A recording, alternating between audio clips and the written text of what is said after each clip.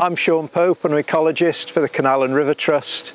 I've been with the Trust since February, although I've had a lifelong interest in ecology and I've been volunteering in ecology for the last eight years. Lots of reed growth uh, on the canal at Knowle Locks this species here is reed mace and without the reed mace this would be just uh, an empty concrete bowl. The reed mace here offers a fantastic habitat for a variety of uh, species. What you've got in there, you've got insects such as dragonflies and damselflies that will use it as shelter uh, in the larval stage, but also when they emerge to become adults, they'll climb up and then fly away.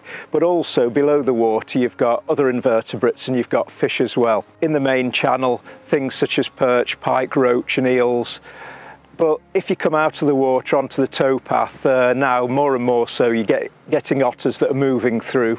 But also near the towpath on the other side, you tend to get badgers as well in certain areas which uh, build the sets along the uh, embankments and the cuttings lots of birds as well. You'll notice if you look inside the lock, the walls are covered in mosses, lichens and liverworts.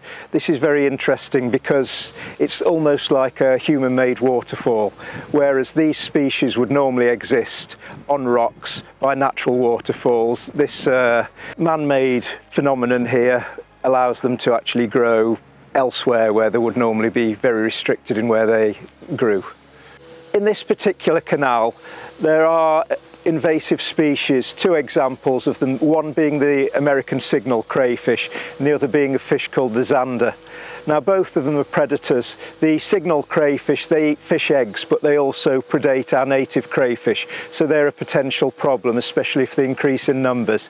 The zander have been here for a good few years. They've not caused such a problem, although they are known to prey on native fish, so possibly in the long run they may affect uh, levels of different species here.